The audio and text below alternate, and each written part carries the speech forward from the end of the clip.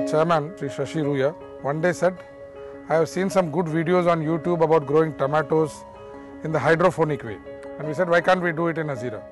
Can you find a place? So I thought over and then I found this place which you are standing was previously a, a garbage dump yard, which I said is available and let's convert this into a tomato farm as looked by you. This farm is presently manned by an all women task force that does everything from painting, sapling, cutting, fertigation, up to harvesting, all the process including packaging. This is done by all women farm. And who are the women? They are just women who have finished their 10th standard or 12th standard from the neighboring villages.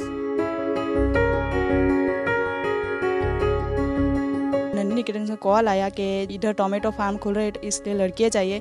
तो 40 लड़कियाँ थी, उनमें हमारा interview हुआ 40 लड़कियों हम 12 select हुए। हम जब पहली बार आए तो हमको ये सब पता नहीं था कि हम कैसे करेंगे।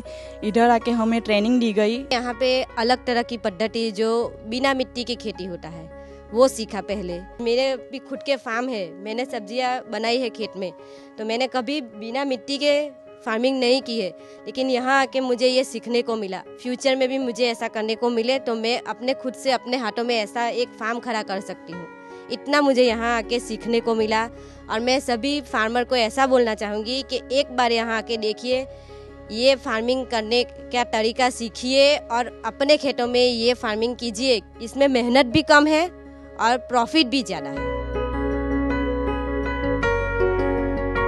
Today, we are in an amazing harvest stage where we are harvesting anywhere between uh, 300 kilos to 400 kilos per day, which uh, is sold in the local market and also sold to all the catering establishments within the uh, Essar campus.